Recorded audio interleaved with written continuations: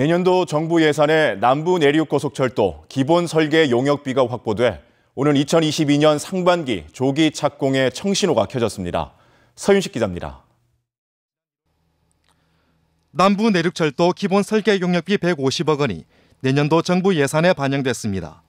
지난 1월 이 사업에 들어가는 4조 7천억 원 전부를 정부가 부담하기로 확정한 이후 지난달 기본 계획 수립 용역 착수에 이어 이번에 기본 설계 용역비까지 확보하면서 2022년 상반기 조기 착공에 청신호가 켜졌습니다.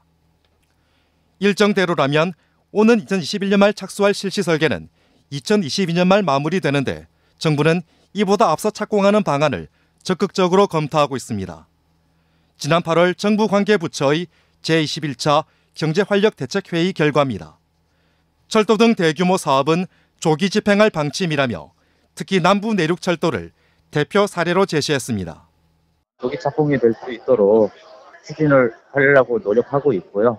예. 거기서 행정 절차상 공기 단축을 할 수 있는 방안은 최대한 강구를 해서 공기 단축을 진행하려고 하고 있습니다. 경상남도도 긴밀히 대응하고 있습니다. 중앙부처의 적극 협력에 관련 절차 진행과 예산 확보에 차질이 없도록 할 방침입니다. 정부의 방침과 우리도 입장이 같기 때문에 최대한 어, 우리 경남도에서는 2022년도 착공하기 위해서 노력.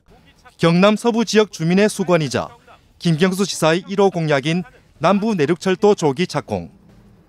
정부의 추진 방침이 확인된 만큼 경상남도는 오는 2022년 상반기에 착공하고 오는 2028년에는 고속 열차가 남부 내륙을 누빌 것으로 기대하고 있습니다.